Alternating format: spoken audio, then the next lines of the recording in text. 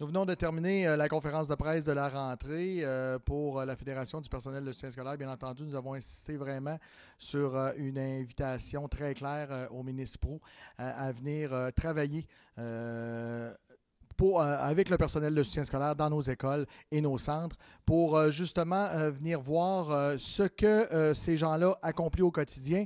Bien entendu, pour s'assurer de prendre de bonnes décisions, d'éviter toute coupure et de bien comprendre les particularités du personnel de soutien scolaire.